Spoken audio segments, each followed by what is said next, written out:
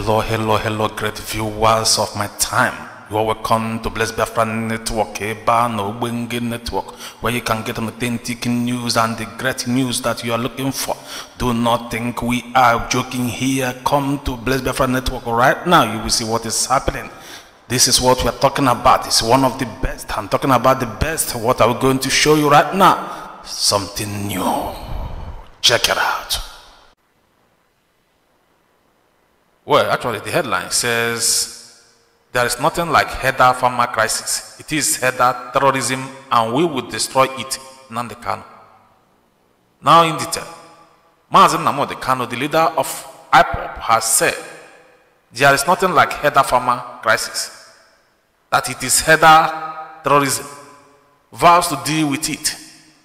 He wrote, Does it mean slash Nigeria do not read their own newspaper? Or is it because they lack the capacity to reason? Even a house, goat, knows there is nothing like herder farmer crisis. The farmer never goes to the Fulani herder. It is the Fulani come terrorist that goes to the farmer and he goes without invitation. He destroys the farmer's crop and, flan- and they unleash terror if the farmer resists.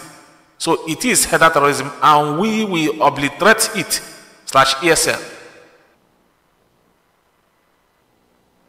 Now the tweet below. Does it mean slash Nigeria does not read their own newspaper or is it because they lack the capacity to reason? Even a house goat knows there is nothing like herder farmer crisis. The farmer never goes to the Fulani herder. It is the Fulani herder come terrorist that goes to the farmer and he goes without invitation. He destroyed the farmer's crops and unleashed terror. If the farmer resists, so it is herder terrorism and we will obliterate it. Slash ESN Amnesty International. Now, guys, actually, what we are saying here is that it's not by force to stay in someone's forest or someone's bushes. It's true that people in Nigeria are living in different parts of the country, but they all live in the city.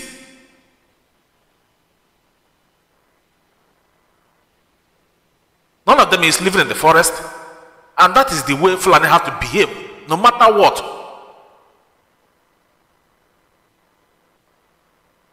Nobody has monopoly in killing, and nobody has monopoly in violence.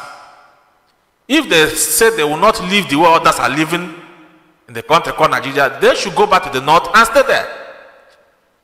We don't attempt terrorism and we don't want to see it with our eyes. What Fulanis are doing is exactly is terrorism. They live like terrorists. That's a terrorism lifestyle, and we cannot take it. They should forget, even though we know that they have used our resources and our money to bribe United Nations and EU. That is why you see them keep quiet. Except from Amnesty International, which is they are trying their best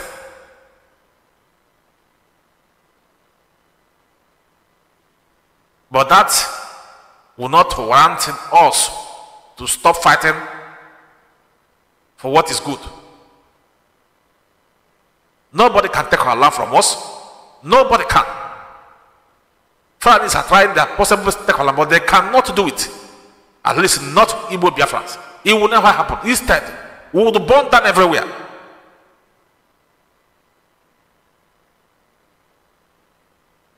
If other people in Biafra land won't allow their land to be taken away, that is their own problem as far as I'm concerned. But not Igbo Biafrans. They cannot take our land from, from us. They can't. Only assuming. Only assuming all these people that call themselves, all of them, those ethnicity from inside Biafra, only assume they respect themselves and come together. At least listen to Mazen Nnamdi Kanu. It's not because of money, they are, and what am I talking about? Even the ones close to him, because of money, they, they, some of them left. Of. The ones that are a little bit far from him.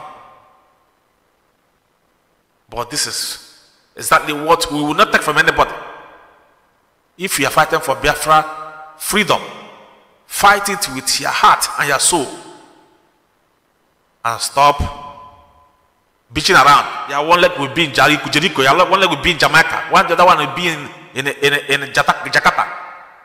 That is exactly what we don't want to see. Fight for Biafra restoration. Fight to protect her land against these Janjaweeds. That is why you see them, they're always together. Even their governors, they protect them more than every other thing. It's only when it comes to our own land, all these are homosocial governors, they will start bitching around.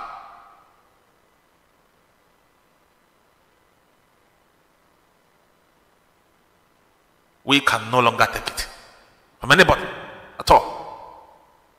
Fulani cannot take our land. They can't. They can only try. But as far as ESN is there, they cannot take our land. That is exactly why we have to sponsor them in a big way. Guys, all the whole money you spend giving 100 million, 200 million to women, go yourself, uh, uh, oh, okay, money of this, okay, money of Jakarta, okay, money of uh, Lebanon, or this and that, different, different names. Use it now. Judicial, use it now. And sponsor ESN. They need to be well equipped, like I said before. Because this, as I'm seeing it, is going to end in armed struggle. Because we cannot allow Fulanis take our land. And we cannot allow anybody to determine for us what to be and how we should live our life. And we cannot go down with some set of people that has refused to grow up. Rather, they prefer to wallow in terrorism every day by day. We cannot go down with such people. That is why we are no longer interested in this contraction called Nigeria. British government should come and take the country that they created. We will not need it. We will continue to struggle to fight until we get what we are looking for. That's all. And if the Hausas know what is good for them, they should stop joining these people that call themselves Fulanis. They are not the same. They came to their land, they killed their kings. They turned them into such different things. Today, they are moving. Whereas they are just a few percent of people. Every time you see them call, say, Hausa Fulani, Hausa Fulani. All of a sudden, they start. Not, no, no longer after Fulani. Hausa now is gone. We cannot take it from anybody. Because of this, from here, now I will say, Good night. Please, great viewers, share this news. Drop your comment in the comment section and stay blessed. Cheers.